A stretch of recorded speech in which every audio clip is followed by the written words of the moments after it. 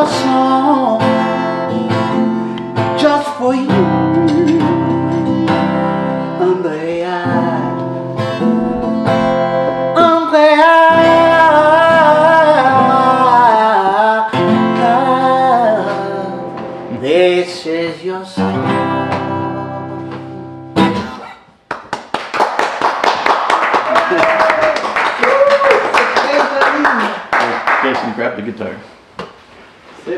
okay. I stop. Let me switch off the phone. Yeah, turn off the phone. Okay, hello everybody. Welcome to the Panterra Studios and our musical accompaniment and our special guest who flew in from Lyon, France via Iceland and beautiful downtown Detroit. Andrea and I picked him up at Los Angeles International Airport around noon yesterday. Our very good friend Jean-Paul Samputu. Thank you so much. I'm very happy to be here. And uh, I have been looking for this. And now I'm home. Yeah. so we have known Jean Paul for about seven years, and uh, we only had the pleasure of meeting him in person once. Jean Paul, move closer into the camera. Cool. I mean, into the, the field. We only had the opportunity to meet him in person once on the uh, beaches of Tijuana. Rosarita.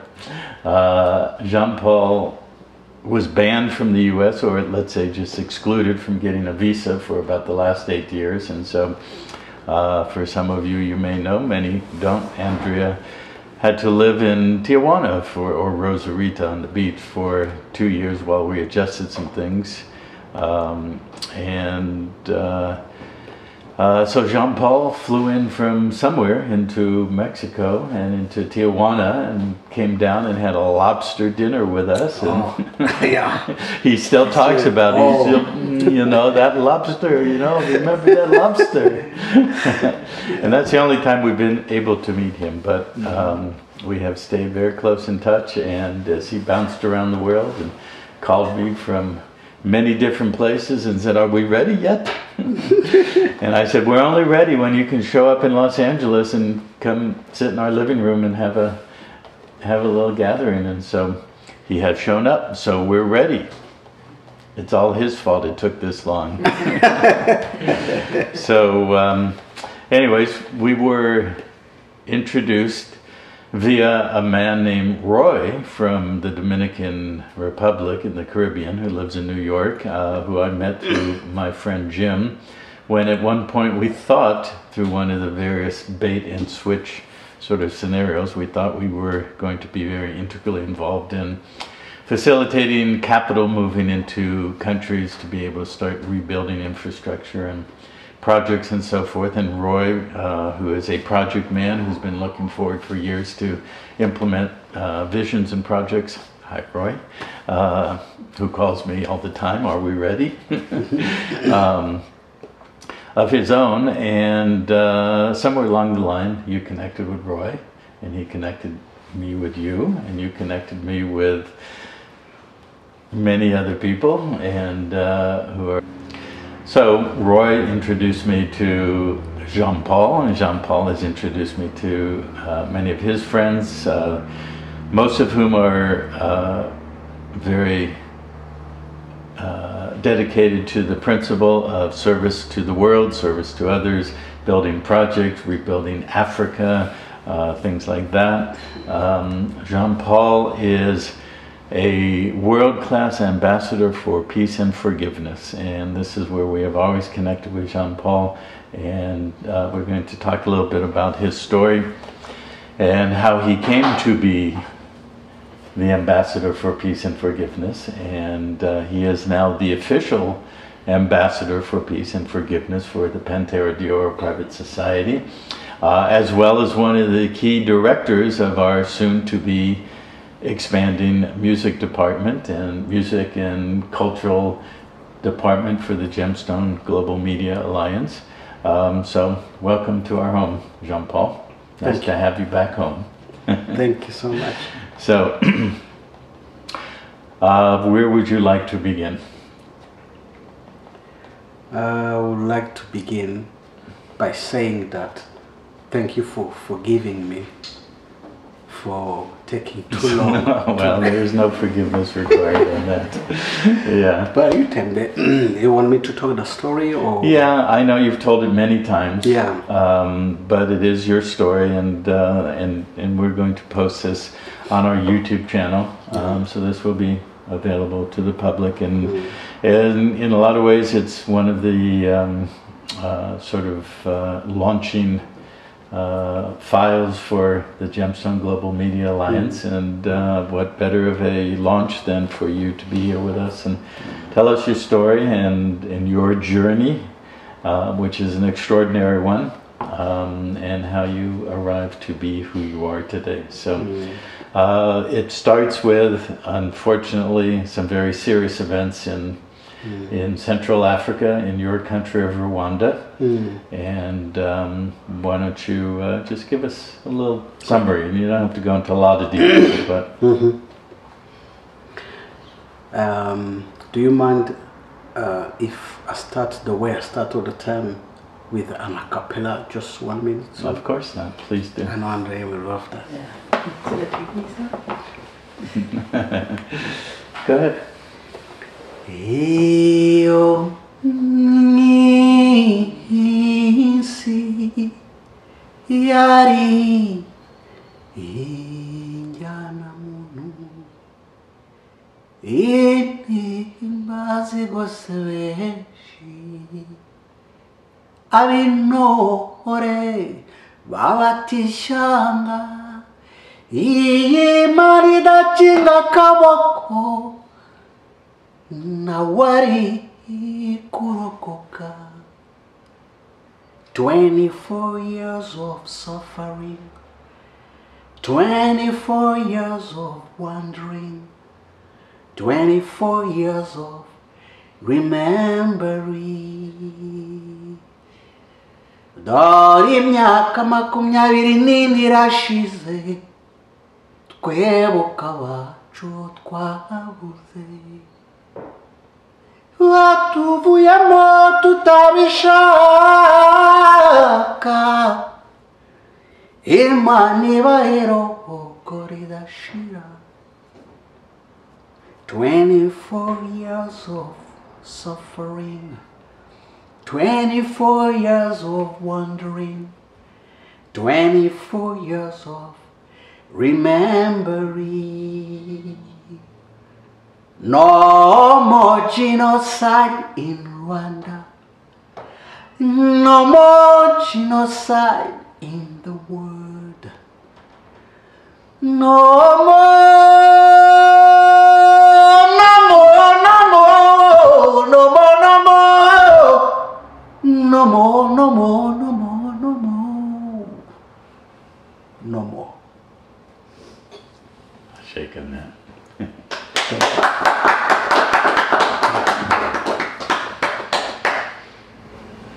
Um, in 1994, uh, we had the genocide in Rwanda, and one million people were murdered only just in 90 days. And brothers killed brothers, husband we kill their wives because the wives are, are Tutsi, husband are Hutu because they wanted to show that we are proud of being Hutu. They had to kill their wives or the children just to show that we are Hutu. So I think we go back in the history just to know who are Hutus. It's good to know that before. And who were the Tutsis? Yes, what the Tutsi, what the Twa. Rwanda uh, is a small country in East Africa. Rwanda is between Uganda, Tanzania, Burundi, and Congo. In north of Rwanda, we have Uganda. In south, we have Burundi. And uh, west, we have Democratic Congo, the, the country Congo, big country.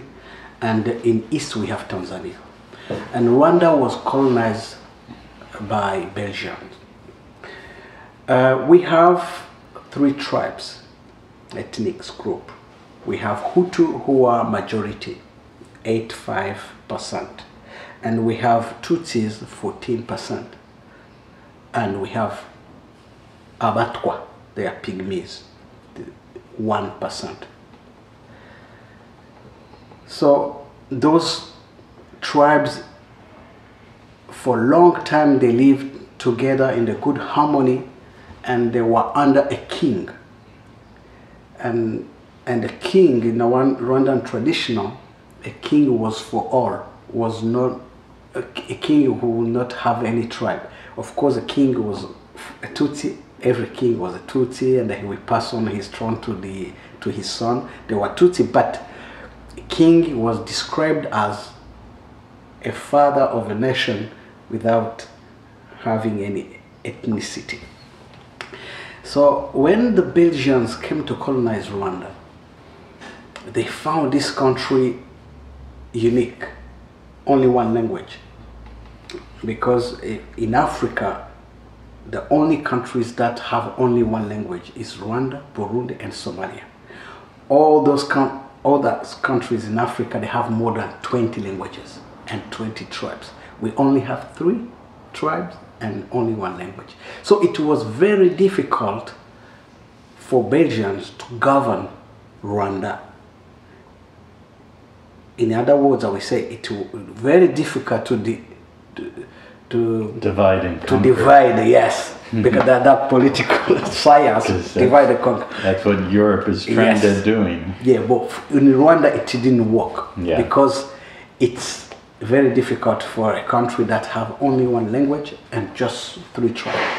So what they did in 1933, they they started the identification cards. They created that and they gave to Rwandans identification card where you, the your ethnicity is mentioned in your ID. So I had one because uh, before the genocide to happen, every Rwandan had ID where you ha- is Hutu, you are Hutu, you are Put and Tutsi. So when you ask me when what is the origin of the genocide or violences in Rwanda, I will always say in 1933 when the Belgians start, uh, created their identification cards.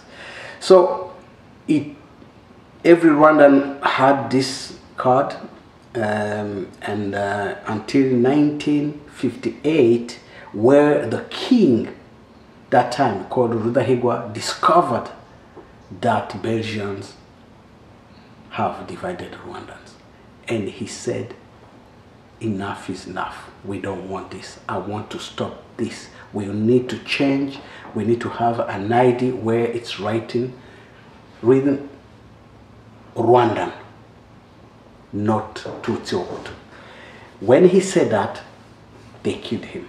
That's how the king were killed. That's how every the first genocide started there. Because when King Rudahigwa was dead, uh, they tried to put uh, his brother because he didn't have children. His brother became king. They want to kill him, and he escaped. And every Tutsi, many Tutsi did, went outside the country. Uganda had all many Tutsis. Uh, yeah, Tutsis who are able to flee the country they went.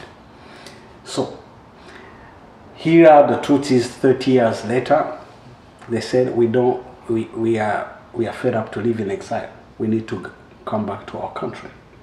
So that's where they invited Rwanda because they have tried to come peacefully. The president of Rwanda was saying all the time that uh, when a glass is full, you cannot put more water.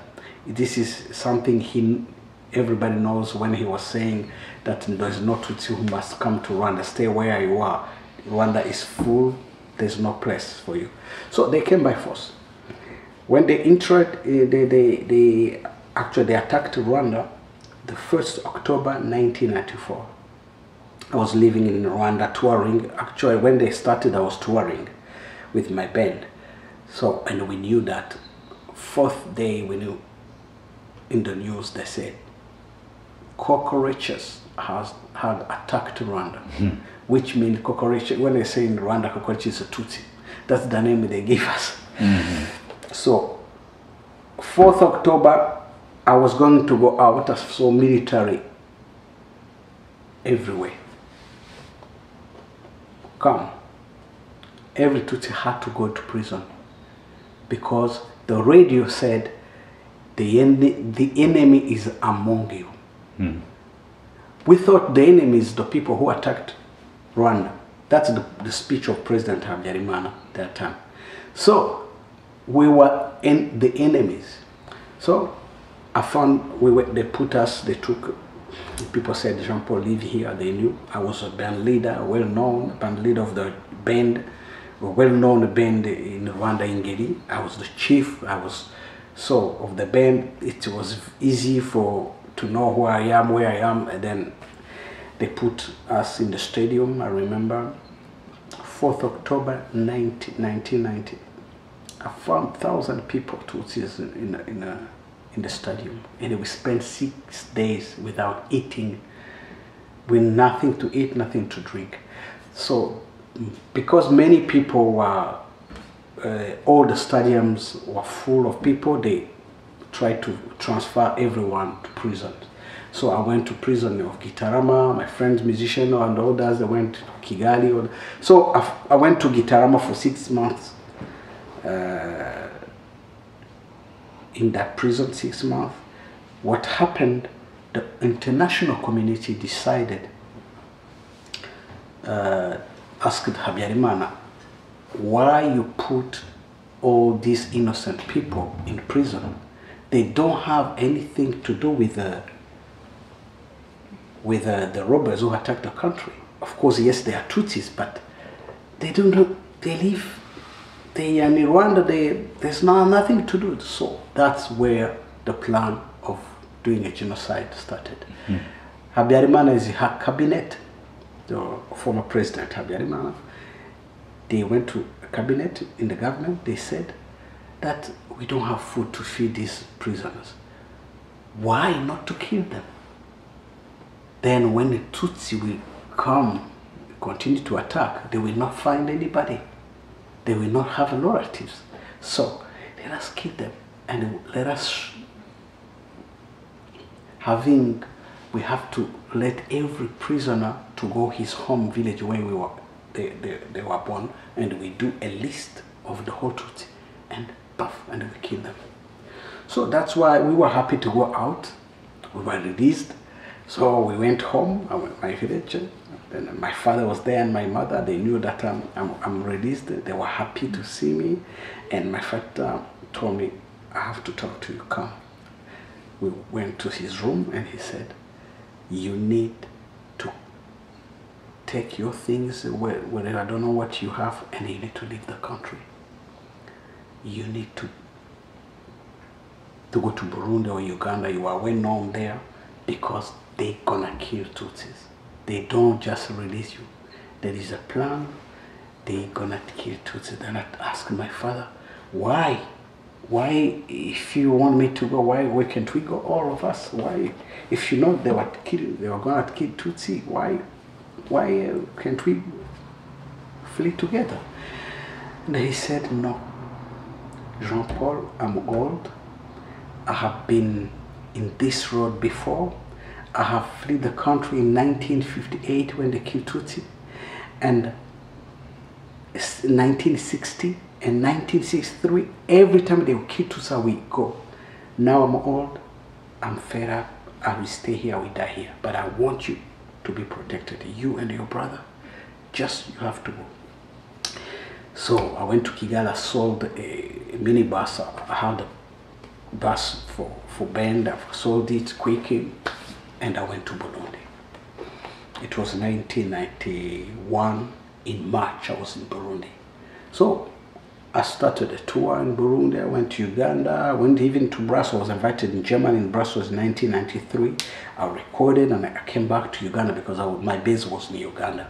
Because I was in Uganda knowing that uh, the, the, the, the war will end soon and come back to Rwanda. So while I was in Uganda, it was in May 1994 during the genocide. The genocide started 6 April. In May, that's where I knew the news about what happened in my family. They killed my father, they killed my mother, and three my three brothers and my sister. So I knew that maybe I said maybe my three brothers I, knew when I went to Rwanda. I knew that they killed my father and my mother. But my three brothers I was thinking I will find them. So the war, the genocide stopped on 22nd July 1994. And the same day, 22nd, I was in Kigali and I went to Butare where I was born in my village. When I went home, I found the house empty. So I, I tried to to ask some neighbors what happened and uh, and uh, why you are walking in the, in the street. You, I was seeing cadavers, and it was stinking. It was horrible. Um, so I found a neighbor called Emmanuel. He was running there. I saw him there running, saying, "It's Vincent." It's Vincent who killed your father. It's Vincent who killed your father. And he was not know, he was traumatized. So I told him, come, keep quiet, quiet. I want to talk to you. How you know it's Vincent who killed my father? Why? Because Vincent is a, a friend of mine. We grew up together. He was a very good friend of mine, and uh, and he was our neighbor, and he was the principal of the school there in our village, and he was a very good friend of my father. So I said, I said, Vincent, do you think Vincent can do that? And he told me this, and another friend called Eugene, we confirmed this. So when I learned that it's Vincent who did that, it destroyed my life. That was the day I started drinking. I started taking drugs and I will always, when I remember that Vincent did this, and I will try to find him and kill him. That was the when I had the idea of killing in my first time. That was the first time I, I had an idea of killing somebody. I didn't know how I was going to kill him, but the spirit of revenge was in me now, and I always I will, I will drink when I have those thoughts. So I had to continue to to walk to, to start my band and here is the end of the war everybody start to walk i start, start to new life but i will do everything i do with self-destruction killing myself trying to find Vincent and kill him. Why I, why I don't I cannot find him, then I kill myself with alcohol. I, I end up being an, an uh, alcoholic addicted in 2002, where I couldn't sing anymore. I couldn't I couldn't show up on my honor my contracts as a musician. Having yes, of course, I, I was married in 1995, and uh, the second child was born with a disability, uh, intellectual deficiency.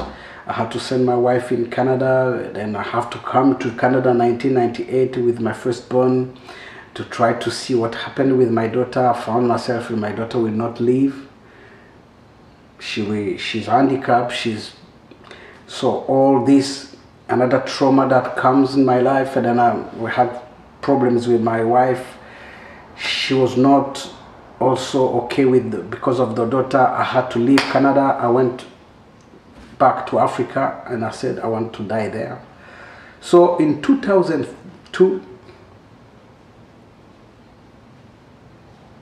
i was somewhere with drugs and i was laying down three days without going out. I was um, like dead. So friends of mine said Jean Paul is dead. What we have to do something. So some said we have to bring him to the hospital. and people said, no, he's dead. We, we just, we wait to see. But um, before we bring him to the hospital, let us bring him, him somewhere we can pray for him because, you know, when somebody dies, they, they cannot put you on, a, they, they have to, be, to, to, to pray to say, God, receive his soul. So they brought me somewhere in a mountain in Uganda and uh, they start to pray. They're praying, God, oh, he's, he did good things in life, now he's dead, please forgive his sin.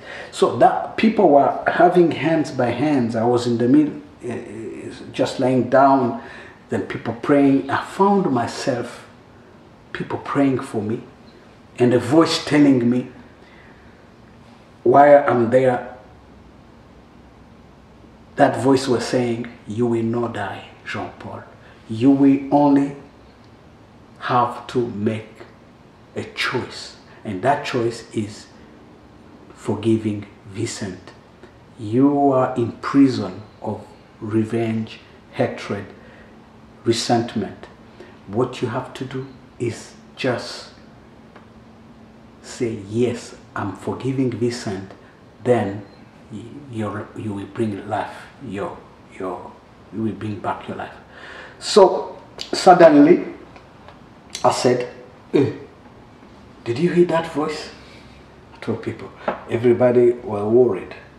They said, which voice? We were praying for you. I said, I heard a voice telling me that I'm not going to die, I have to forgive. So some people who are there, they will say, yeah, this is God.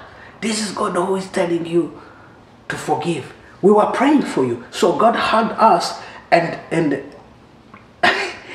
and now he's, uh, I, said, I didn't want anybody to tell me about God because I was angry at God. I was, actually, I was not a believer because after the genocide, the first thing I did when I, I was in my village, uh, that time when I was in my house, the house empty, I composed a song saying, God, where were you? Because we have a proverb in Rwanda that says, God spends a day away, but he returns back to Rwanda. God may go to America during the day, to Uganda, to Sierra Leone, but comes back to Rwanda. It's a common proverb.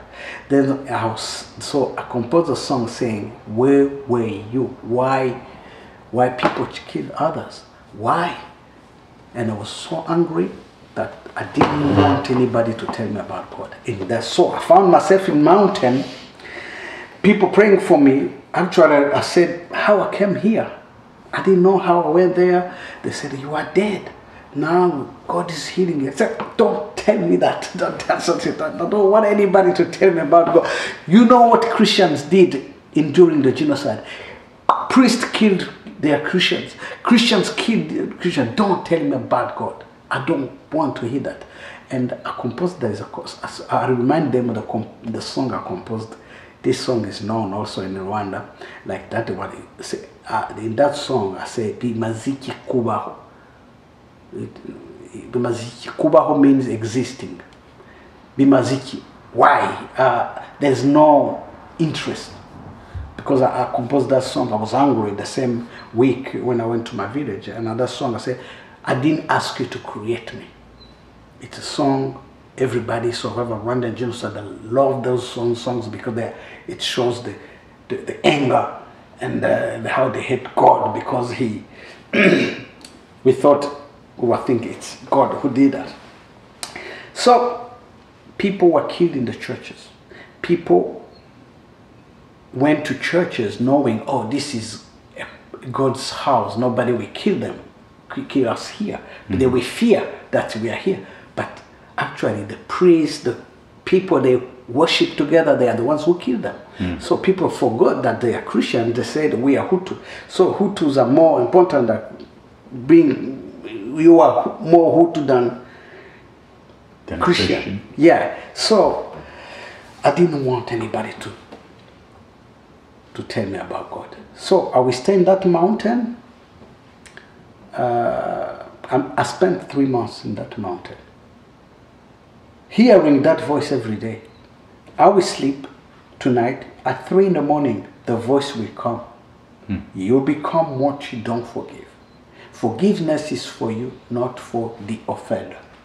Then we, I will speak with someone telling me things, telling me that forgiveness means to release from your bondage. Forgiveness means to release from your prison of bitterness. Forgiveness will free you. Forgiveness is for you. So I will go with those words and I will always, they will come in my thoughts. So one day I said, I'm fed up to live, to, to, to, to always hearing this voice. I have to do something. I've tried everything. It didn't work. I went to witch doctors, people, uh, I tried everything. So let me try to say yes to this voice to see. If I say yes, maybe that it will not disturb me tonight when I sleep. Let me just say yes. It does not cost me anything. Let me say yes. so that was this is something I will never forget in my life. It was 15 March.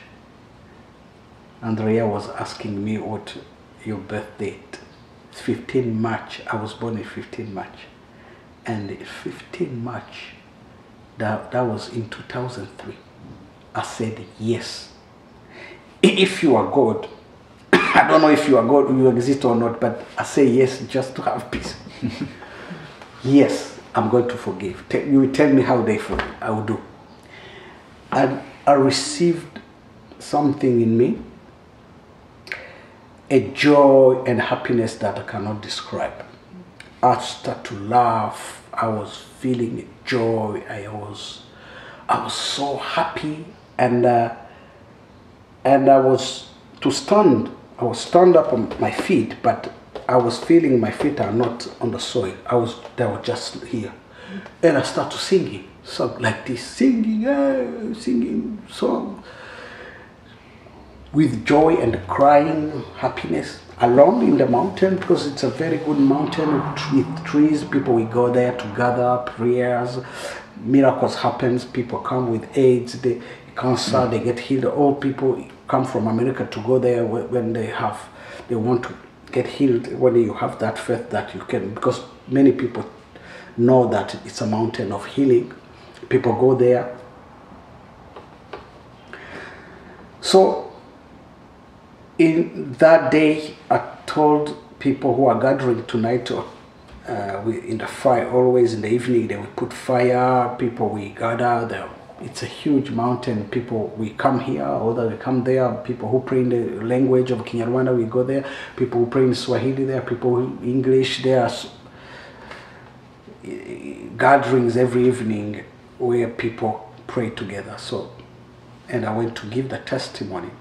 I told people who are there that you guys, you prayed for me. You guys are, you know, I was saying no, no, I was angry, but today it's 15 March.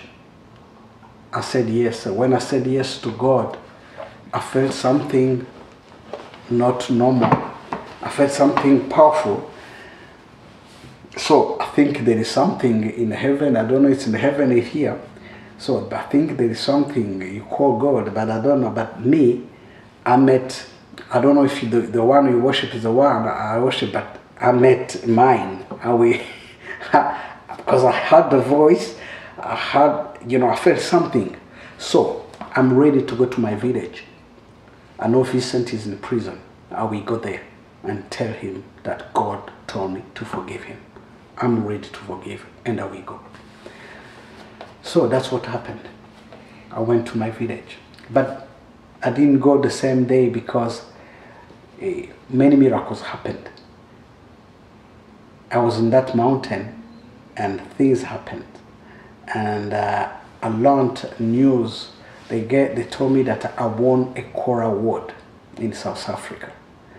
Uh, while I was in the mountain, I got the news that um, I was selected among the best African artists.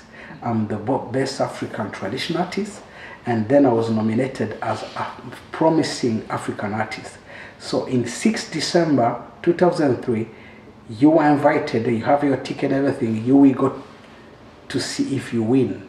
So you will have to travel. So I was in that mountain and some people who have, have been, I actually prophesied that. One woman was just praying she said, God told me that you showed me that you got an award. And Think you you got an award before, but you didn't know you were just crazy. But now this year you have to go to take your award. So it happened. I went to take the award, and then after I came to America, I came to America 2004 because of that award. I was invited to come to World Culture Open in New York, Lincoln Center, and I won another award. I, have, I was able to go to bring my band in Rwanda. They paid everything. I, I went to bring four people. So I started my career in America uh, touring everywhere, every state. You know, the, this America, I know the whole state except five states only. Mm. All the states I have been there performing from 2004 to 2008. I was every, every state performing to universities, colleges, performing center, churches, as well as giving the message of forgiveness.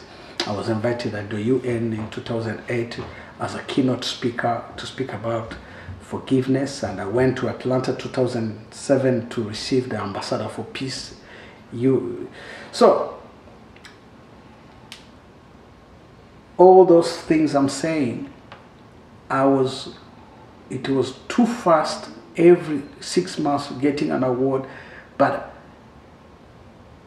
I had to do something. I had to go to do to forgive Vincent in front to find him and forgive him so I went and I met his wife and I told him, I know Vincent is in prison and uh, I want you to tell him that God told me to forgive him. Tell him, but I'm trying to go to Gacaca. Uh, Gacaca, I, will, I have to explain you what we call Gacaca in Rwanda, is a traditional court. Hmm. In the past, before the colonialists, people we gather together when you do something bad in the community. They will come witness they will come judges and all the village we gather together. And those who committed things that we said and the witness we say and in front of people and they will, you will be judged and you will be when you ask for forgiveness, it will be reconciliation or you'll be judged and something like that. Because it Gacaca, they brought that system in order to to do justice for what happened in genocide. Because Hutus who didn't kill, you can just know the number, they are few. Because most majority of Hutu killed, so it was hard to to do to put them in justice. But what happened in Gacaca, everybody will go there and you will go and accuse those who killed your, your relatives and witnesses will be there and everybody will they will say openly. So here is me Jean-Paul Samputu to go to Gacaca. I wrote a letter that I will come. I know the people who killed my parents. I know I will come to testify. So because it's my village and because I'm known, I was born there. Thousand, thousand people came to see what I'm gonna talk. Talk. So everybody was there. What what time? What year was this? In 2007, Okay. in July. hmm Ah, it was something very. It was challenging times, and uh, but I was convinced. Uh, few people only knew what my message there, because they didn't want to. To talk to everyone that Jean, actually Jean Paul is going to forgive in public, because they want they didn't want anybody because that was it was the first time I was the first person to do that. Everybody will go and they will accuse. so I arrived there. The journalists came. Many BBC was there. Many journalists was there in the room, and Vincent was there because when you go to Gacaca, uh, people even if prisoners must to come, they must to be present. So my turn was there to speak.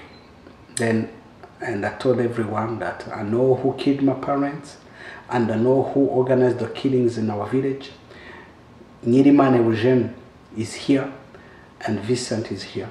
But I didn't come here to to tell you the way people speak in the in the gacaca.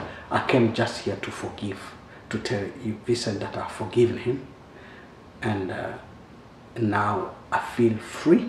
I feel happy that I have accomplished what God told me to do. So we met Vincent the first time.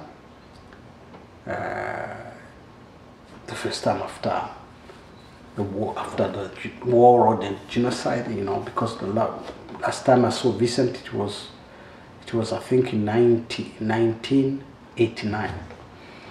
So he was happy, and we went.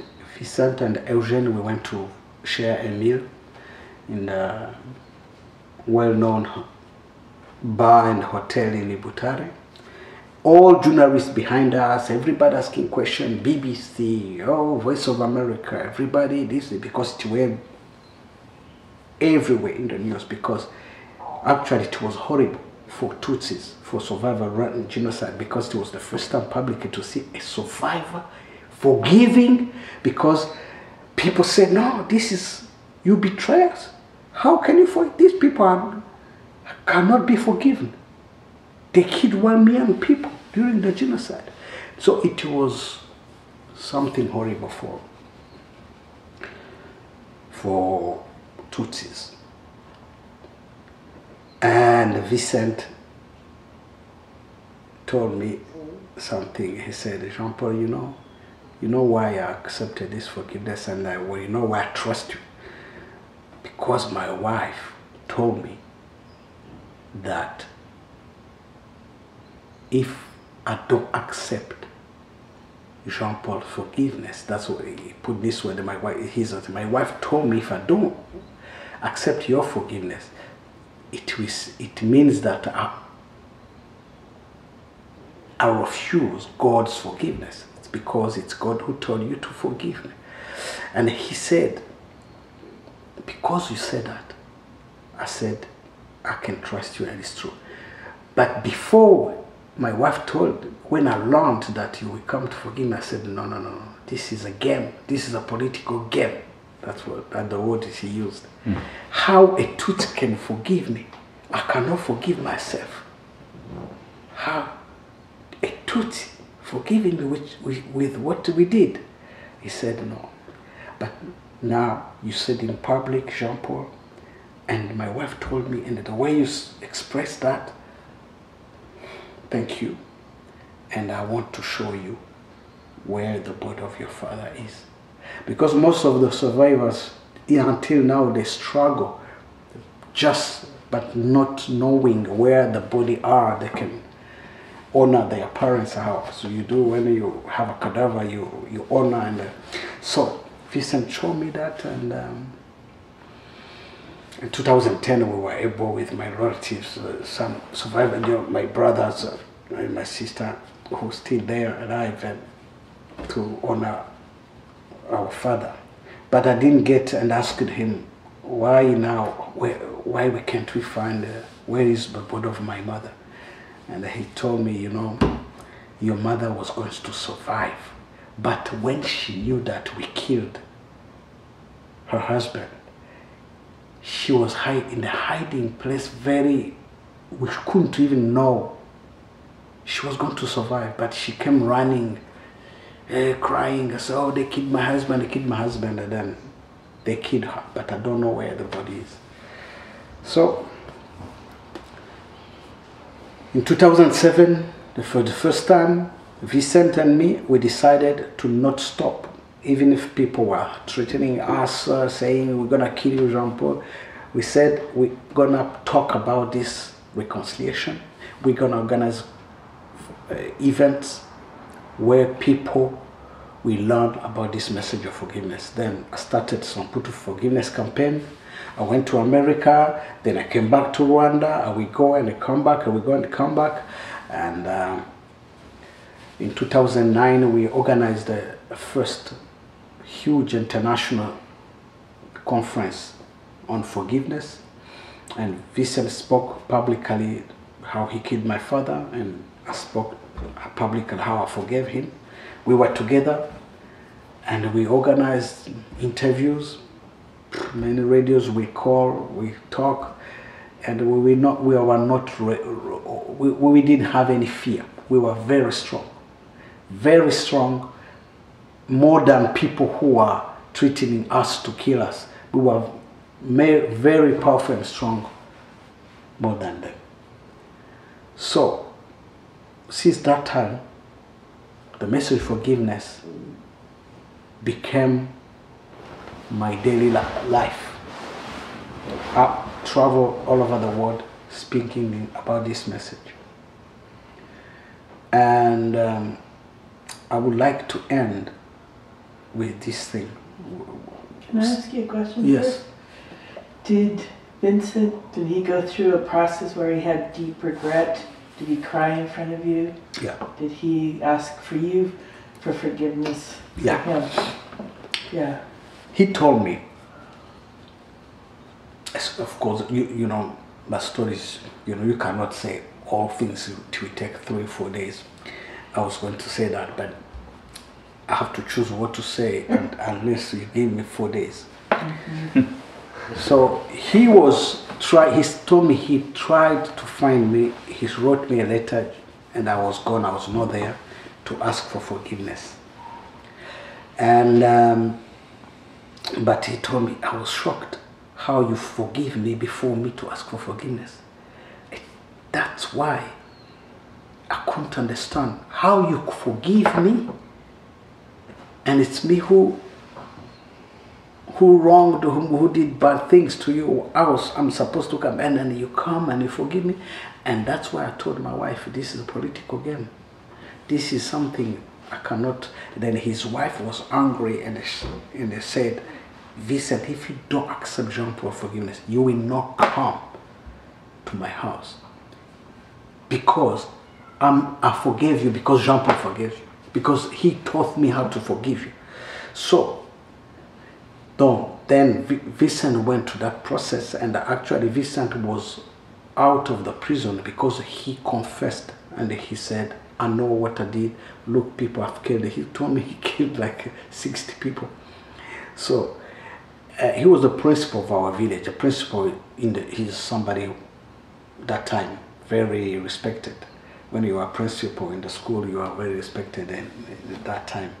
So uh, Vincent went to process, process of asking for forgiveness, uh, and he that's why he was appointed. You know, he, he was out of the prison because after when when I was in Gacaca, he didn't go to prison again. No, he he he was like he was free because when you also uh, you know when you accuse about genocide when you confess and he said you you name people who who were you know who pushed others to kill and he said the whole truth they let you go out. But you do some work they, they do some uh, community work and the people yeah but they, but you go out of the prison. So he was he was that kind of uh, uh, prisoner, but who confessed.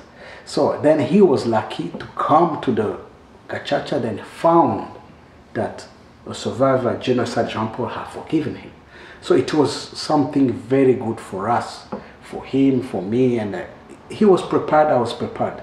There was something like uh, we, people say it's a miracle how we got together in doing that gathering, and he was free, and I was free, and I came there with uh, this power, forgiving, not even worried because people were texting me.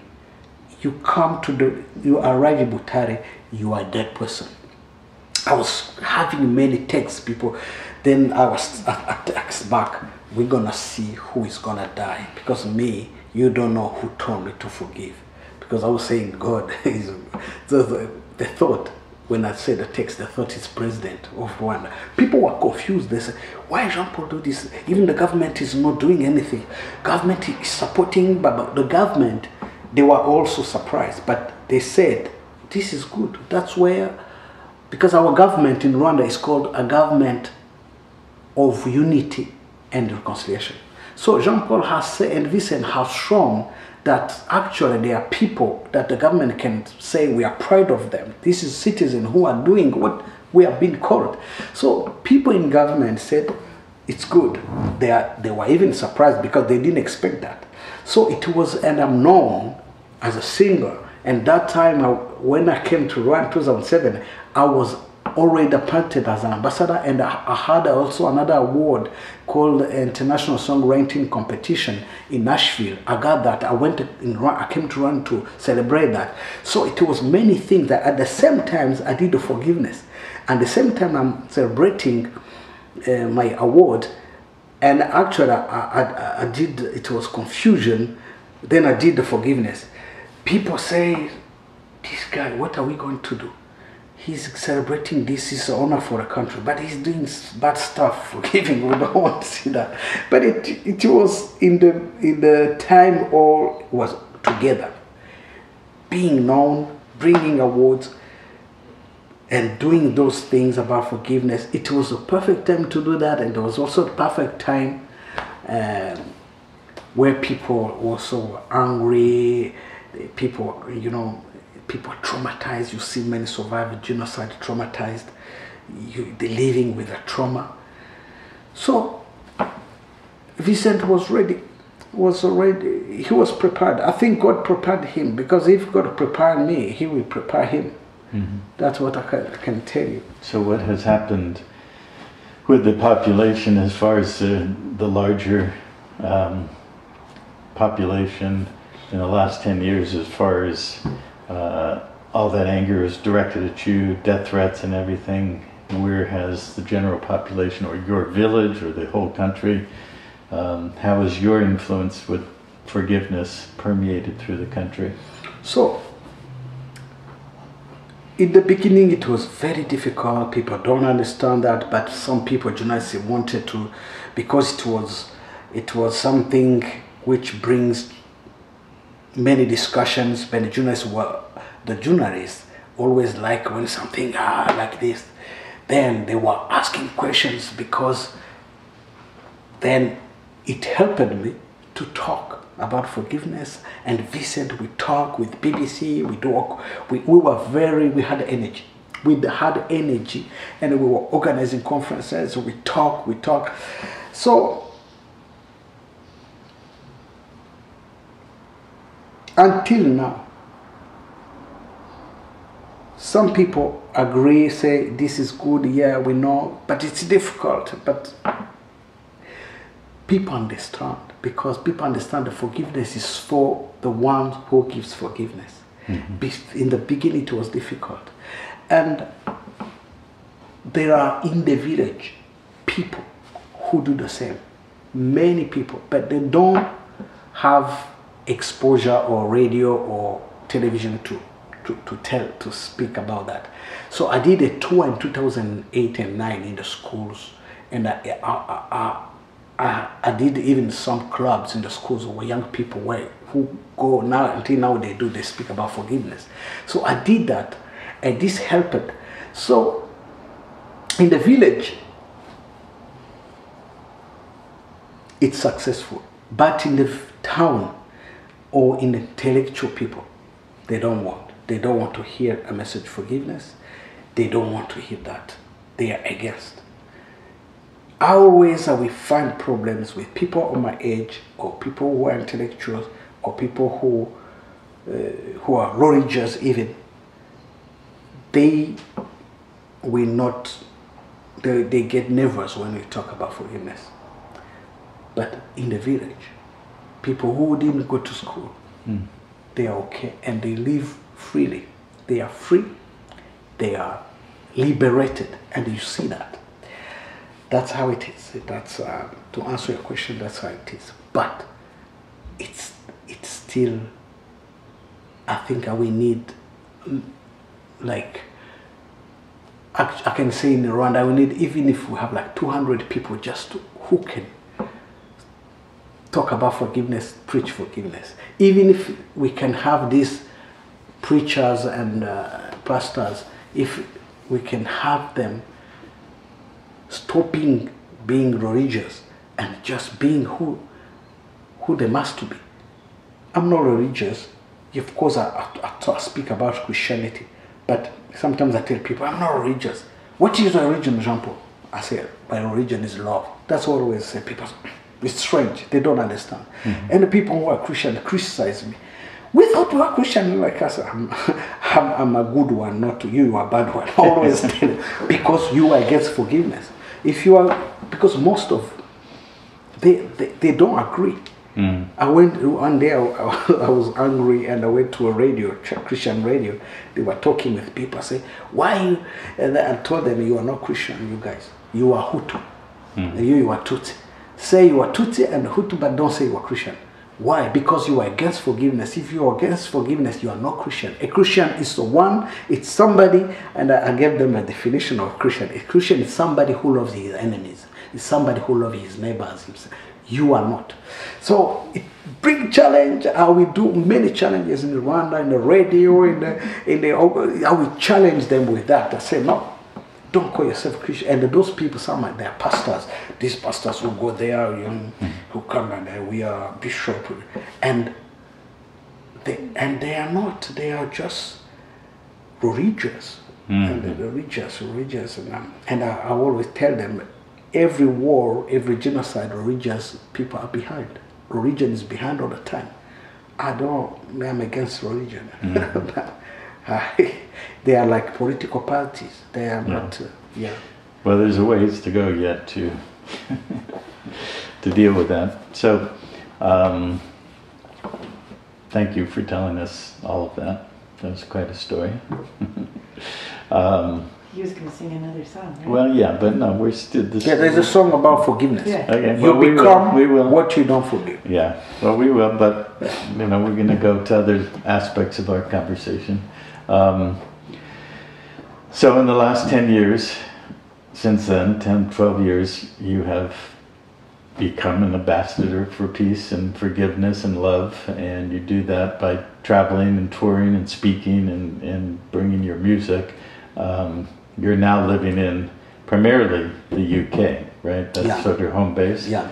Um, your family is still in Eastern Canada, Canada, yeah. and um, so you pretty much go everywhere. Like you're here in California because you have a conference to go to in Sacramento, then you're going to Venezuela and Nicaragua and so forth. Um, what? Uh, um, how do you see your career as it is developed? Is really lack a better term because career is you know you're not a career. You're this is an expression of who you are. Um, where it has evolved from the last 10, 12 years since that point and how the world has received you and is, is embracing your message. Um, can you talk about that? Actually, it's good you ask me that question because it brings me the things I want to share with you here. Because uh, you you just ask me like three questions in what you say, and um, I will. Um, I want to tell you and to share with you what I have discovered uh, in the Word, because I have been invited to speak this message in Australia, in South Korea, many places. But I can tell you what I found in this world. That's why, to answer again the question where first, I dedicated my life to this. And I'm gonna do this because I found that this world is miserable, I think I can say that. Genocide calls genocide. Revenge calls revenge. Violences calls violences. I've it's, it's so sad when you see in the world what happens, what the problems, the war, the genocide, and you see these leaders that you elect. you, their mission instead to stop a war or instead to bring peace where when is needed they create another war just because they, you tell them okay they said in iraq there is a war please what america what can we do? America they have everything in their hands to, to stop that war. What they will do they will organize another war. Or they will they transform this war to another one instead to stop the war. I, I go to everywhere. And we do we we talk with people we do workshops and i found that this word is just a word of a culture of revenge. Uh, the wars the violences are, are put always in a revenge because revenge calls revenge. Even in Rwanda, I te- I always tell them if we don't embrace this message, this culture of forgiveness, it will happen another genocide. Because I know what the Hutu tells their children, I know what the Tutsi tell their children. We always transmitted our trauma to our children. And the generation of tomorrow, is he going to live with peace? Peace? No. It depends what we do now. Mm-hmm. So, this these psycho violences were created by who? I will tell you this what I will speak in Sacramento. I went, I go to many conferences, and people always, genocide, they talk about how it was horrible. They always bring the past, the wounds of the past. They always talk about here is what the genocide happened, that then, but when you ask, how can we stop any future genocide? It's happening somewhere. What, how can you stop? They don't want to talk about that. Mm-hmm. They all, me, I will go, I will start my speech by saying how to stop any future genocide. What can we do? So,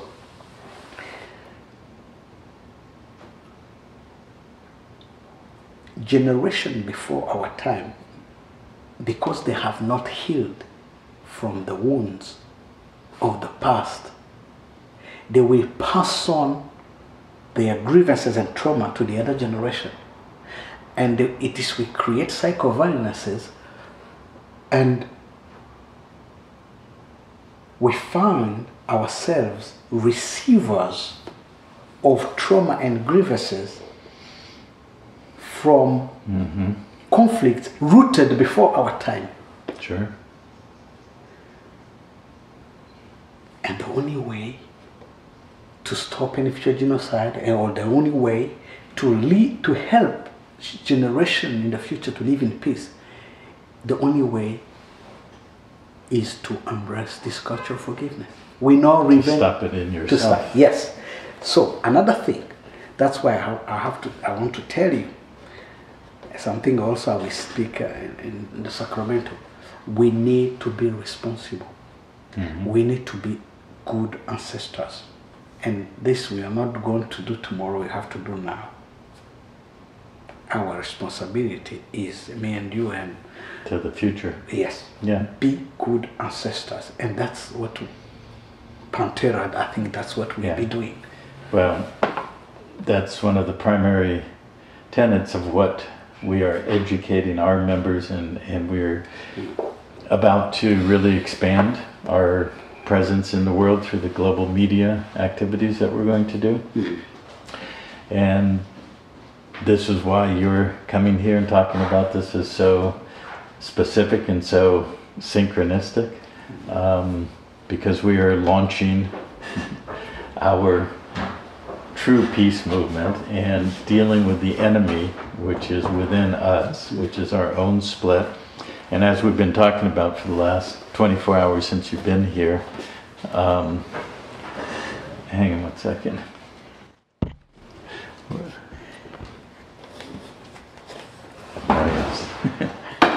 I'll get to that. Um, that as you know, my process and uh, the building of the knowledge that we have in, in law and the money system in world history, ultimately we discovered hardwired into the legal and the money system is what I coined a phrase called the enemy construct. Because the money system, people don't really understand that. Most don't even believe it until I show them where it is. Uh, but the money system, which is the flip side of the legal system, it is based on conflict, separation, Yeah. polarity, and the enemy. And it capitalizes, we're talking about money, the capital that the money system of war and conflict and separation is built on is the internal split within ourselves. And in your story, your story is so archetypal. You are you are bigger than yourself. you know, and that experience that you talk about, uh, you know, whether it was God speaking to you or a higher principle of your own being, it's one and the same. Those are just words.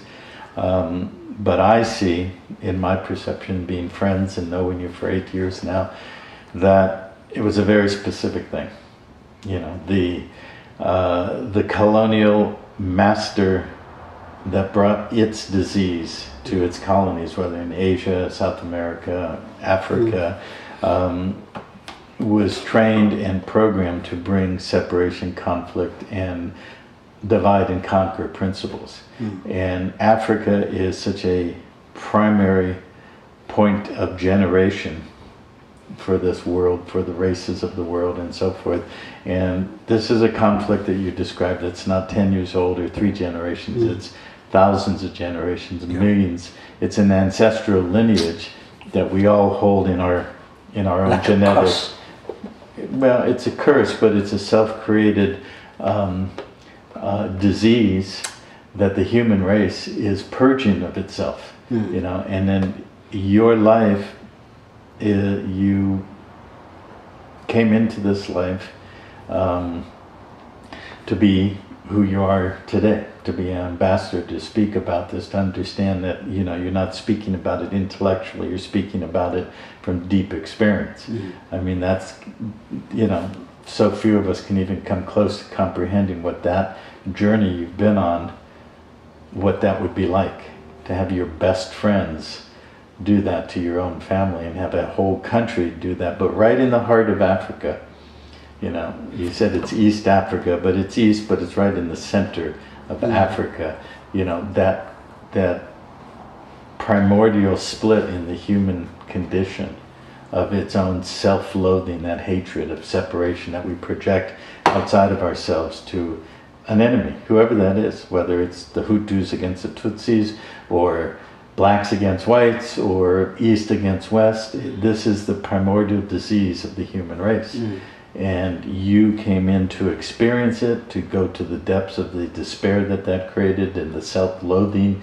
You wanted to kill yourself, you wanted to revenge outside of yourself mm. until you resolved it. And so that voice was your higher self, your higher principle, that divine principle that we are, that our language calls God or source or creator or whatever, mm. saying it's enough. We have to heal this. If we don't heal it, we will destroy our entire existence as a global species and a planet. Okay, mm. so that's why I ask about your the evolution of the last ten years, how you are experiencing it up until now, with your interaction through all of the things you do through music and speaking and conferences and so forth. Um, you know, maybe on a scale of one to 100, 100 being where we really actually collectively forgive ourselves on this planet for the, the destruction and the hate and the war and the um, violence that we've created and allowed and supported on a scale of one to a 100, you know, maybe we're at one and a half percent. we have a long way to go. Hmm. But we are very powerful beings, and that's what we talk about in Panterra all the time, literally hmm. every day. The power of what we can do to break through this frozen consciousness, that that mindset of divide and conquer to capitalize on the separation and the polarity and monetize it and make money and control resources and people and countries, uh, that is shifting right now. And that is the mission and the purpose of Panterra through media and education to bring this to the world. And our media is going to be full spectrum and it's not going to focus on, you know, like what you were saying, you go to conferences, well, let's talk about the wounds of the past, you know, and then we just recreate it. And then we get this visceral sense of it, and we go. A lot of people go to movies and the media that's currently been foisted on the human population, all about violence and war. And then, you know, it used to be cowboys and Indians 50 years ago. Mm-hmm. Now it's humans against aliens. you know, but we've met the aliens and they are us and we mm-hmm. have to deal with it. There's mm-hmm. nothing outside of us. Um, Andrew just gave me a quote from attributed to Confucius which says before you embark on a journey of revenge dig two graves because you will kill yourself you know so if you had fulfilled that that impetus to revenge against Vincent and the other man, you would have killed yourself. You would have destroyed yourself, and you woke up to that understanding, and he woke up to that. Hmm. Okay, so so this is why. Yeah, let me prove. Go ahead. Let, let me tell Andrea something. Vincent was okay. He was in prison. In prison, they eat, they dance even. They have some, they, they, they have some time where they dance every. Vincent was just okay. He was in prison because of what he did. He deserved it. But my prison was more horrible, more than his. He killed my father. Mm-hmm. He's there in prison, he's eating, but me, I was dying every day. So, revenge, what you just, this is, this, the, I was carrying Vincent everywhere. Everywhere. Everywhere. What, what he did, oh, everywhere. So I was to, and he was heavy. And getting heavier. Yeah. So just one day, I was able to, just by just choice, just to say yes only. It was all was gone. So revenge, that's what I said. I said revenge causes revenge, and revenge uh, kills yourself. You know, uh, sometimes we think your really enemy is the other who wronged you. No, your really enemy is your Your own separation. yeah. Mm-hmm.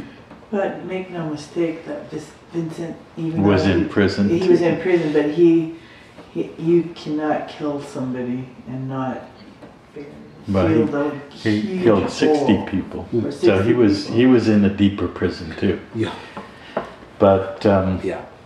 I'd like to shift the conversation a bit. Um, and, um, well, yesterday we were talking about uh, racial roots, and you were telling us about some things that, that I didn't know before in terms of, um, and you talked about a little bit earlier as far as who the Hutu were, who the Tutsis were. You talked about the Belgian uh, colonization, which basically was, was primarily focused on the Congo. And there's, for anybody watching this, there's a quite extraordinary book, if you want to learn some of the history behind what he talked about, called King Leopold's Ghost. And it's about Leopold II. Uh, Belgium was a uh, created state in the 19th century. And so they had to have a, a monarch for it. So they picked a uh, cousin of Queen Victoria's, Leopold, and they put him in as the king. And Leopold II was his uh, was his son and heir to the throne. And he was a very greedy man and very self-focused and the epitome of, of the you know the opposite of what we're talking about you know and it's what i call the you know the the european disease. Um, but it's more than just racial as far as european. I mean it's the disease of this world that that self-interest self-focus that unsatiable uh, compulsion to greed and power and ego and control and all of that which is what we're having to face in this whole world process of, of purging and healing. And he looked around, and all of his cousins, well, the British, they got all kinds of colonies, and the French, they have colonies, and the Germans have colonies. I don't have a colony. And he looked on the map, and he found, oh, there's this big swath of land in the middle of Africa that was called the Congo, which is when I grew up, I remember the phrase the Belgian Congo. Had no clue what it was. And that book goes into how, what he did and who he worked with. And he worked with, uh, remem- remember uh, uh, Dr. Livingstone and Stanley. Dr. Livingstone, I presume, you know that phrase, the two great explorers. Well, Stanley was basically a orphan and a scrambler and a huckster and what have you, and he huckstered his way up the ladder and got involved with Livingstone and basically came back, got involved with Leopold, and they did this whole promotion of well, we're there to help the people of Africa and this whole spin. And in actual fact, and this is when the rubber boom um, happened and the ivory boom in the middle of the 1800s, and they went in and they just this whole area of, uh, and I didn't realize that they were in Rwanda and Burundi. Um, so that whole area is Yeah. considered the Congo, and they um, they really Leopold and Stanley was out, you know, hustling in parlors in America and Europe and getting money and support and oops. Um, and um, to uh, support this, and it was all based on this this facade of humanitarian efforts and bringing the church to the natives and all that kind of stuff. And they ended up killing 10 million people, okay, and in horrendous conditions to build Belgian Congo and, and harvest ivory and rubber. Um, and ultimately, when we really look at it, we talk about war and the monetization of war and the extraction and exploitation of, of wealth on the backs of the native people who are the real stewards of the land. It's all about extracting raw resources to feed this machine, to maintain and perpetuate war and violence and conflict in this world.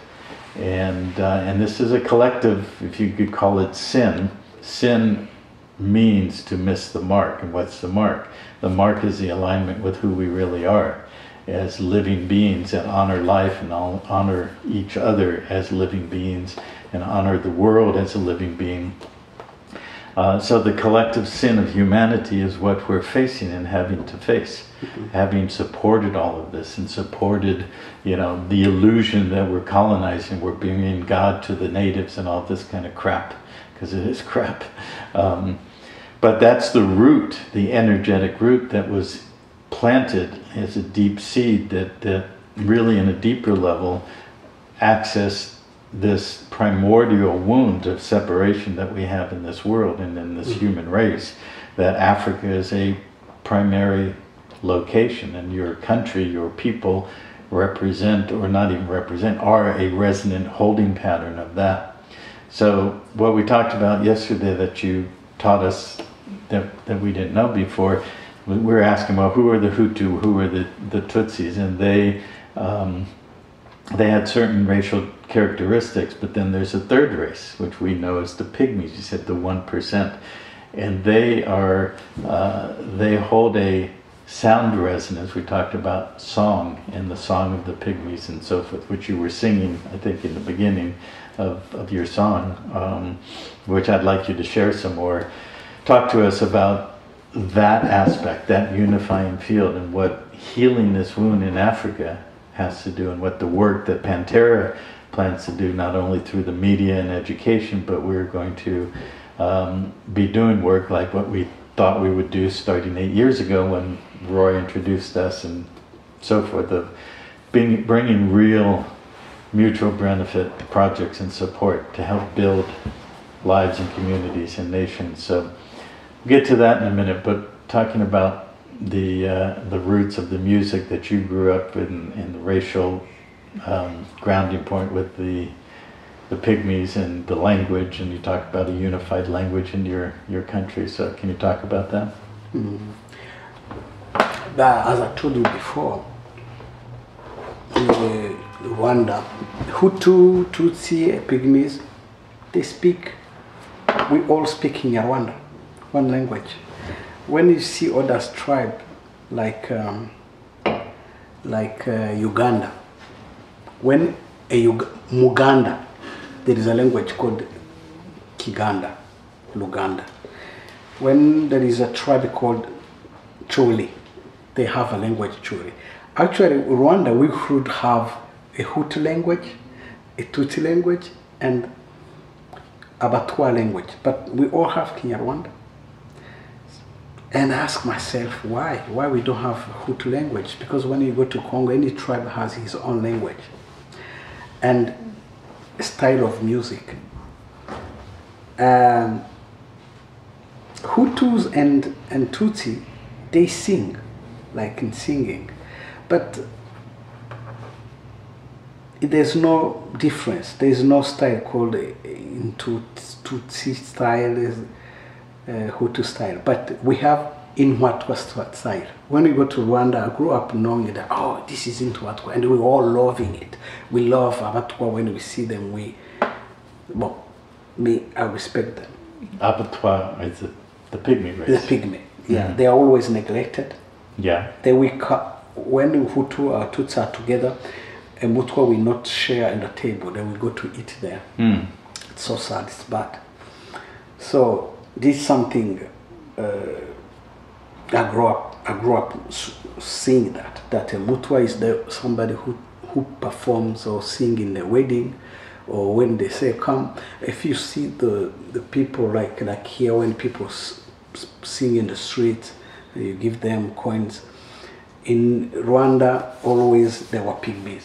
They have a stanza, they play, and they are good singers, and they have something uh, you know uni- unique in their music.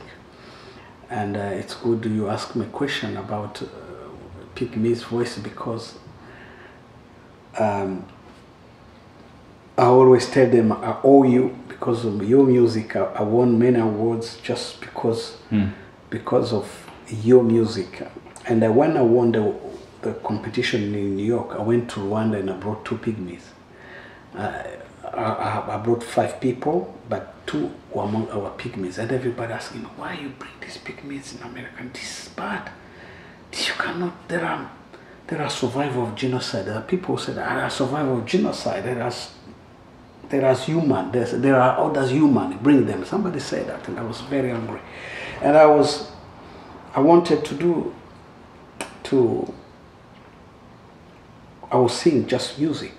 I was not seeing who, I don't know how to choose uh, just any, I don't, I don't, I don't, I'm not like that. When you go to do a band as a musician, you don't choose a, a Hutu. By, by race. Yes, Choose by. but uh, there are people who do that in Rwanda. They have been doing it. So no, I cannot perform with Hutu. I cannot perform with Tutsi. So, for me, um, and I told you also the this man uh, who is at a university in Miami. He did a dissertation about uh, the music, the Pygmies music I do, and he did that, and he has this um, link. Will, I think I, will sh- I shared with that with you. I will send you again. So the Pygmies, uh, the Batwa, uh, they are unique. Uh, they are unique the way they sing, the way they dance, the rhythm called 5-8. Uh, this is the rhythm, it, it's hard to dance a 5-8. But for them, they dance 5-8 and, uh, because it's complicated. But they do that. They are just pygmies and uh, they say, we are the only ones. When you meet a Mutwa, he will tell you, we are number one. We are the only ones who play. You say? I was just gonna ask, is it possible for you to simply demonstrate that rhythm, just even just like tapping? Yeah, I was going to do that. yeah, we'll get to that. Let, Okay, me- let me finish. good. Yeah. You know, one, two, three, four, five. One, two. They clap like this.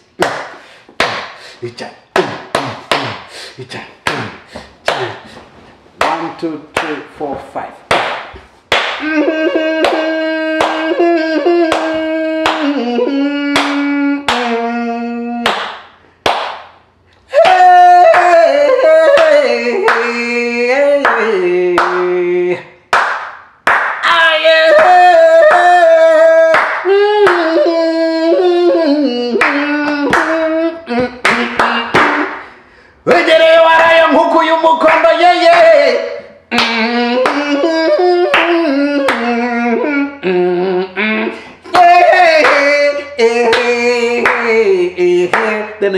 hear that they always sing like 20 people. Then you will hear that.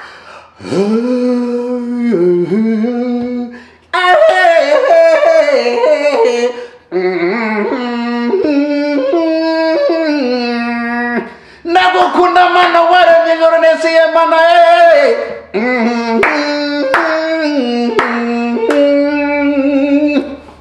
Ah, that's fun. And there's songs that are about the earth and the nature and Yeah, the mountains. They like to sing their how they are brave. There are people who the, who the the, pygmies. Uh, you know, people criticize them that they, they praise themselves. They say we are we are number one. We are good. Nobody can conquer us. We are we are just we are created. You know, sometimes they, they may say the other we are humans. The other we don't know who they are. they are the aliens. Yeah, that's right. And you know what? No, they found out. They found us. The the the country Rwanda is ours. Hutu came after, then Tutsi came, but they found us here. We, they are our, you know, They're they the are our land. people. Yeah, yeah. They're the Actually, they real stewards of the land. Yes. Yeah. yeah. well, in our research and study of history at many levels, not just all the facts and figures, but the esoteric and the multidimensional, um, this earth is extremely unique in the universe, in the many universes, and it is a fountain of life that is intended to spread life throughout many realms. And there are original races on this earth who are founder races, who were one with the land. Hmm. And when you describe that, I mean, it's so obvious that's who they were. Hmm. And there's different races in different places. Like in Hawaii, they call them the Menehune, and in, hmm. in the British Isles, they call them leprechauns, and in Iceland, they call them the elves. Yes. um, They're all those original peoples, and some are still in the physical form in human or seemingly human bodies, and some are like shifted in frequency. And that's why I want to, because to me, race, language, and music, they, that's that's frequency, that's resonance, mm. and when that resonance is harmonic mm. with the land, then that's what peace is. That's true life that's holding a resonance with this world, which Yeah. is intended to produce life. Mm. And what we're talking about is the layering of the parasite, the division, the split in the consciousness, and getting humans collectively to project their movie that they're playing inside. And that movie, unfortunately, up till now, or for a very long time, has been separation, polarity, violence, mm-hmm. conflict, and war. Mm-hmm. Okay. And then what our intent and purpose as Panterra, which means across the world, Pan as across and Terra as the earth, mm-hmm. is to create a platform through the gemstone media and bringing culture and race and, and joy and, and life and music and, and you know art. Um, and and when we're talking about media it's not going to be about Education. the and education it's going to be it's not going to be about all the negative and the war and, and repeating that cycle. We're going to focus on what is beautiful and alive in this world and so you know in all these hidden places where life is still holding that grounding point like the pygmies you know well, I didn't even realize till yesterday. I mean, we all grew up here in, in the United States. Oh, yeah, pygmies are little people, and Yeah. you know, had no clue who they were, literally until yesterday. I mean, you know, I didn't look into it, and we're Yeah. pretty advanced in studying history and the world and stuff like that. Um, so, oh well, Andrea has it. She's The Deep Extra- Forest is the name of the album. Oh, she had an album called Deep Forest, which was the Yeah. uh, Pygmies, and but anyways, a lot of it was new for me yesterday, Yeah. um, and I see things in these multi layers, and I see how you know this infestation through Leopold and European colonization and extraction of resources to get the rubber and the uh, ores and uranium and gold and diamonds out of this place called Africa to build their war machine. Okay. Now we're going to shift it. That's Yeah. who we are. That's what Panterra is. That's what Gemstone is. Gemstone stands for. That's what I was saying. Our, responsibility yeah. for the other generation Yeah. is We have to take responsibility because Yes. we are more powerful than Yes. that disease, that Yeah. primal wound. Um, so, Gemstone Media, which is going to start really growing here, um, is going to be about bringing unity consciousness, the awareness that we are more powerful than that war machine. And there is another way, and that other way has always been here, deeply hidden. And so the holding of that resonance in the center of Africa by these little people and the Menehunes in Hawaii and the leprechauns and the elves and so forth, you know, they're saying, you know, it's about time you guys woke up, quit doing this stuff to each other and yourselves. So, um, anything else you'd like to share about the pygmies and the music and the what I just said? Um, you want to, uh, another? You want me to share? Uh, Yeah, anything you you know that you know Yeah. about what? I was going to sing that song. You wanted the forgiveness song. Yeah, we'll end with that. Okay. Yeah, we're not quite at the end yet, but if you want to do some more pygmy singing, Yeah, I can do with the guitar.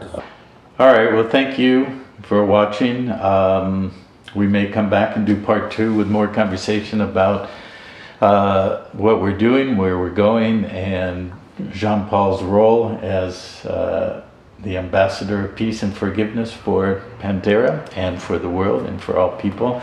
Um, but we're going to shift focus and we're going to have Jean Paul do some more music for us and some more singing. So, Jean Paul, take it away. This is um, a pygmy song. Um, in Kinyarwanda, the song is said, "All is yours." It, I think they were praising God, saying, "You created everything; it's yours. I give you back. I give you everything. I, praise is yours.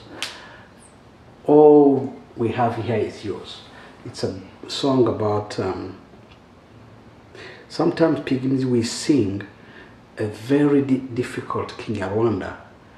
You will not know. You will know just a few words, and then some words are very difficult. You will not understand what, because some songs are old song from the ancestors. So this one is all is yours.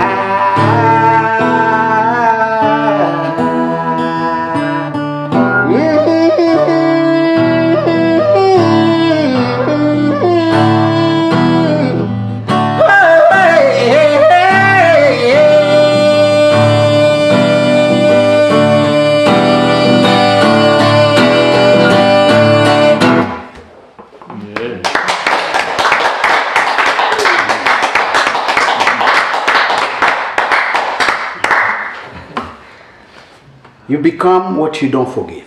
That's right. And you become and you become what you create. Yes. So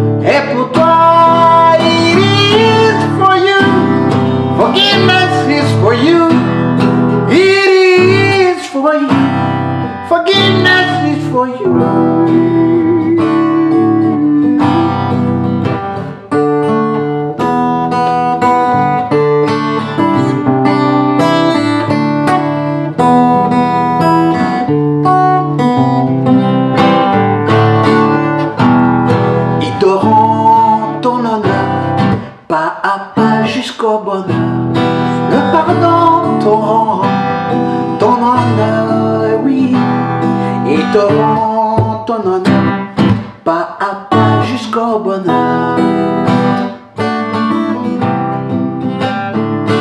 Mmh, ton véritable ennemi, c'est pas celui-là qui t'a enfoncé. Ton véritable ennemi, c'est ta haine. Ton véritable ennemi, c'est ta colère. Forgive less is for you. Hey, it is. Forgiveness is for you.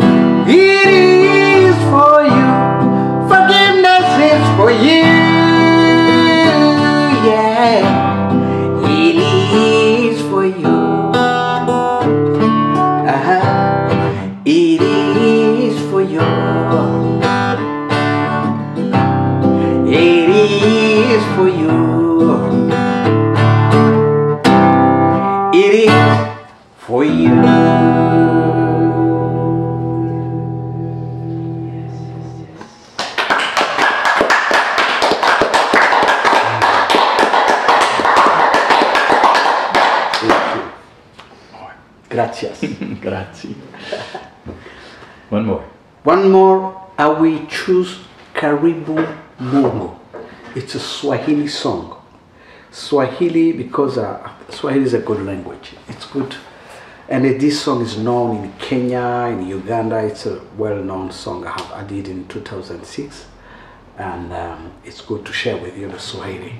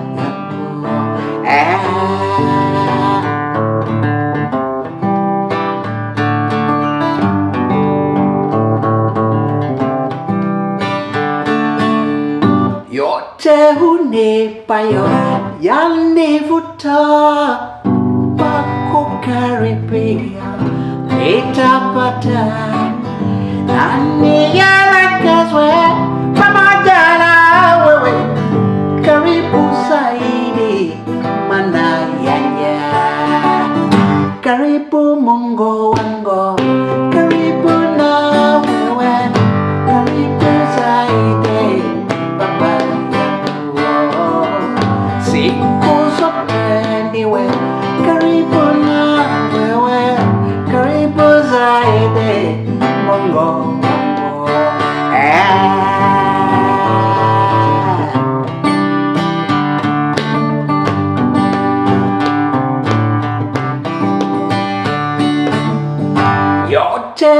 yote hunipayo yanivuta pakukaribia nitapata nanielekezwe pamoja wewe karibu zaidi baba yangu na kwa nguvu zangu nikusifu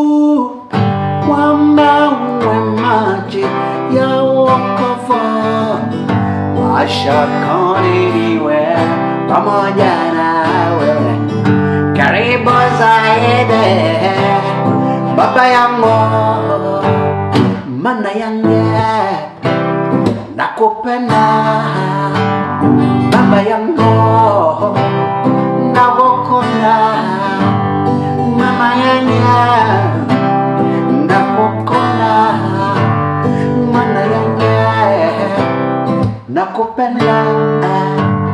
baba yangu